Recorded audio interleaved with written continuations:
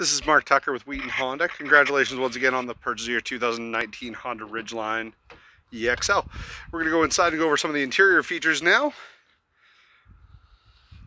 Down on the driver's seat, you'll notice we have forward, backward, front of the seat, lift, rear of the seat, lift and lower, your tilt angles here, and this adjusts your lumbar support. You'll notice from our exterior video, here is your switch for your fuel tank opening. You have your window buttons over here, windows up and down, window lock here, and door lock, unlock. Now we're going to jump on inside and continue on with a bit of the orientation. Mind me just getting this set up here for you. As you can see down here, we have our shift lever, which is locked because there is no power. If I start up the vehicle, it then allows me to shift lever after applying the brake and pushing this. Down into here, you do have the option to turn overdrive on and off with this button down on your left. This button here will adjust your traction control mode for intelligent traction management. And as you can see, I'm pushing it there, but you'll see it changes the display on my dash to let me know normal mode, snow mode, mud mode, or sand, helping adapt this vehicle to different driving conditions. Now, join me right here. We'll zoom in a little bit. Here you have your HVAC system. Your HVAC system, simply turn it on by pushing the on button. Everything's currently synced, so if I use this lever here, it adjusts the temperature in the entire vehicle. However, if I hit the button, I can then change the passenger temperature or go to the rear and adjust that independently of mine as this has three zones. You have heated seats high and low on the left side and the right side. You do still have a CD player in this in the 2019 model. For your front, this will turn it to defrost mode for you. The same thing, the system that comes on during um, your remote start function with the intelligent with intelligent smart start. The rear seat, this is your rear glass and mirrors for heated heated and thawing. You're also going to notice that down here you have a power outlet, standard 12 volt accessory plug that goes in there, but you also have a direct USB port with a white outline to indicate that it is for data usage as well. And you plug your phone in here to use the Apple CarPlay Android Auto capability of this vehicle. Now we're going to go up to here. Where as you can see, if you'd like to pair the phone to the system, it says now. So we're just going to hit home so I can show you how to get to that screen. To pair your phone, First time you hit phone, it's going to come up with no phone. To add a phone, you'd hit yes, and then you just walk through the steps on screen. It's very easy if your phone is searching for a Bluetooth connection at that time. In the screen, it's very customizable. You just hit up here in the clock info settings. You can change the wallpaper so it has different different look. You can change the clock style, the wallpaper. You can change it so it looks different. And hit preview. Really cool little customizable feature about this car if that's something you'd like to do is we're going to go back. If I hit add new and I would have had a USB stick in that data transfer port, it would pull an image through there and I could load it up onto the screen. There is a limit to the storage capability of this vehicle. Um, it's about five images for customized wallpapers. In the home section, we're going to go into audio.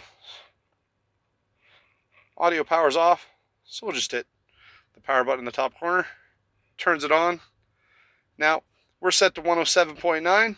If I wanted to change and set my preset station, I just push and hold this button here. And then as you can see, it does take over as that is the preset. This is to quickly dim the screen. You can just rapidly touch that a couple times to dim it. If, let's say you were at a drive-in movie or just didn't like the bright light at the night and you wanted to blank out your screen. In the other menu, there are tons of customizable things within here. This is the menu. There's the home screen. Information, this is vehicle information. You can switch to the trip commuter, voice information, and it'll help walk you through learning how to do th different things within the vehicle.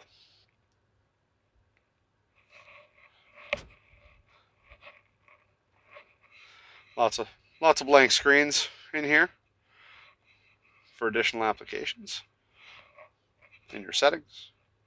Here you can adjust many different facets of the vehicle, including the audio system. You can get to there.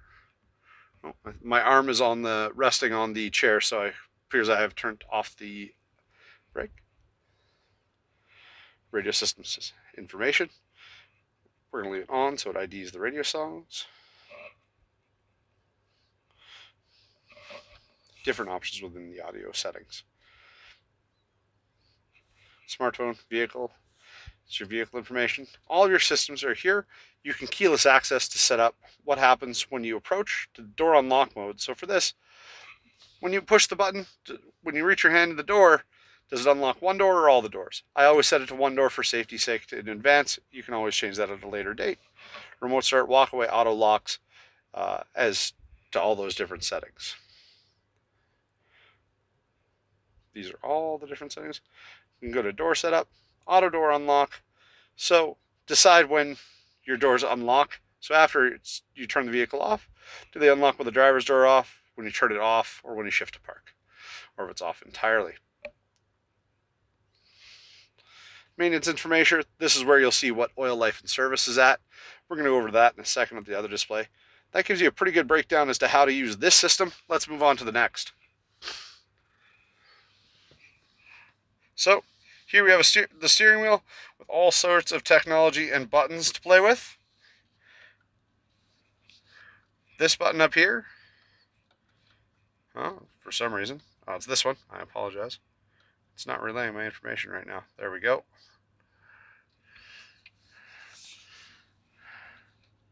Oh, I'm pushing the wrong button, that's why. Uh, so I'm going to push audio, and then I reach over and I push this button here. It then flips on this screen, because I was in one of the two, between phone or music. That's what this button does. Volume up, volume down. This can switch between preset radio stations. This gives you the same menus. Down here, you have your phone controls.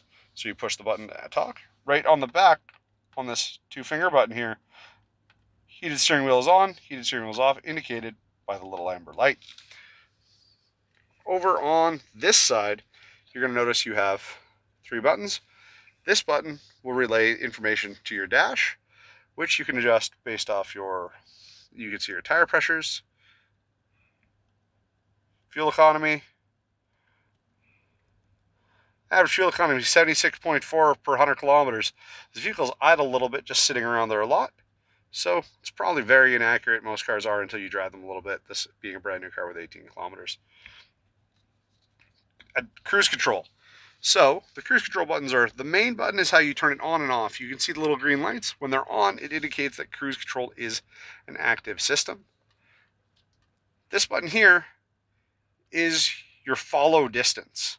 So if you push this, this sets how far you're going to follow with adaptive cruise. If you push and hold the button, it turns adaptive cruise mode off and puts it into traditional cruise mode, which disables the adaptive cruise this button here, so we'll turn that back on. This button down here is for your lane departure. And this is what will help keep you, guide you between the lines during cruise control. As you can see, those lines are clear right now. They're outlines. When the vehicle is eh, seeing the lines on the road, it will indicate and show them as solid. As well, a vehicle will appear above where that ACC symbol is it'll appear and show that there's a vehicle there. Okay, perfect everybody. That I'm Mark Tucker with Wheaton Honda. Hopefully you've enjoyed this little bit of a tutorial as to the new 2019 Ridgeline. Uh, you also have your headlights over here. Set them to auto, you don't have to worry about turning them on and off. And your mirror adjustment is also right over here with the Econ boat mode button. Um, down here as well, you have down here as well you have your park sensors